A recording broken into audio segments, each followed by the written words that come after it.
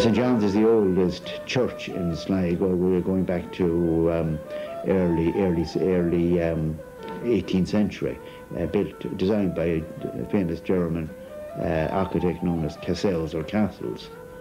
Uh, and uh, the Abbey, of course, is the oldest building in town, going back to Norman times. St. John's would be the second oldest building.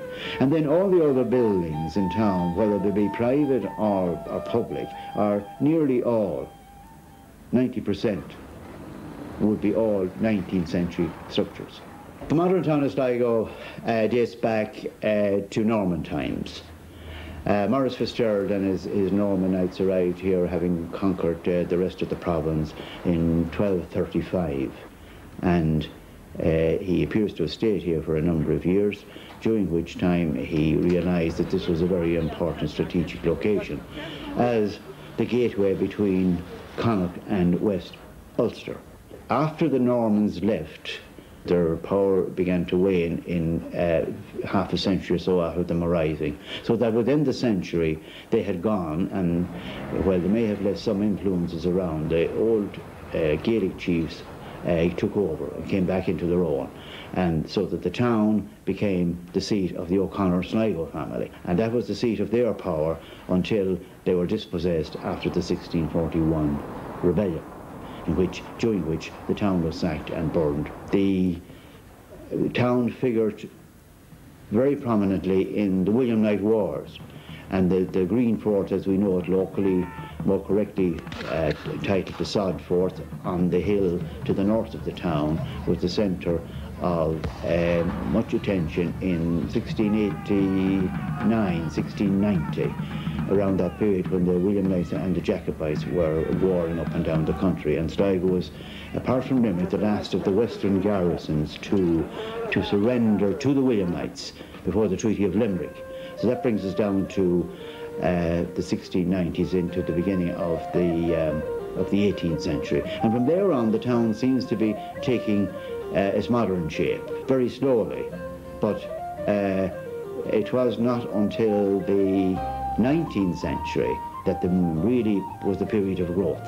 It said that the town that the, that the town grew up around the port, and the port really was the mainstay of, of, of the, the, development of Sligo in, in, the 19th century. It is estimated that over 60,000 people actually sailed from here to America between 1831 and 1851. The virtue of the port trade and the fact that there was a lot of prosperous merchants in town. Some of them, in fact, that came in from outside, and quite a lot of them were Presbyterian people who came in from uh, from north of Ireland, and indeed uh, there was quite a number of Scotch uh, people who came in here and uh, got uh, started into business.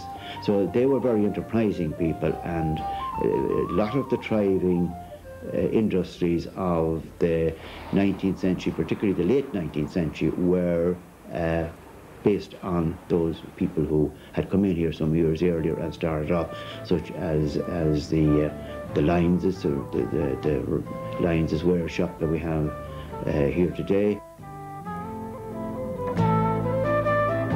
It's also good to see the old buildings getting a facelift, such as the town hall and the courthouse, uh, which is which is ongoing at present. Uh, and so there are public buildings. They're rather unique architecture, uh, the architecture, they're rather unique buildings, both the courthouse and the town hall. And now that they're refurbished, they will they will they will have re recaptured some of their old splendour. A number of buildings have been demolished in this town uh, in the recent, say in the last half century or maybe um, more recently, including the, the Harper Campbell. But it's a pity that, that they have to be demolished to make way for a new road or whatever, or new buildings, that they couldn't be retained and remodelled as they have done in other towns. That was a, fine, a great development along Rockwood Parade. Uh, it, gives it, it gives that cosmopolitan uh, atmosphere and look that it didn't have. And again, it's a question of could they could they not have been refurbished or retained, and the stone, you know, uh, the stone used for facing uh, the buildings that replaced them. The one thing that strikes me is that there's very little use made of stone. Uh, in in the buildings that replaced them, and I think there, if there, there could have been a better blend uh, rather than the different colour schemes, and which is really concrete, concrete painted over. by and large, it's a very modern town and it's developing at a great rate at the moment and we hope it will continue that way. And there's uh, probably in the, in, the, in the decades to come it's going to be a, a much larger centre and, and, and uh, more and more an, uh, a centre for the development centre.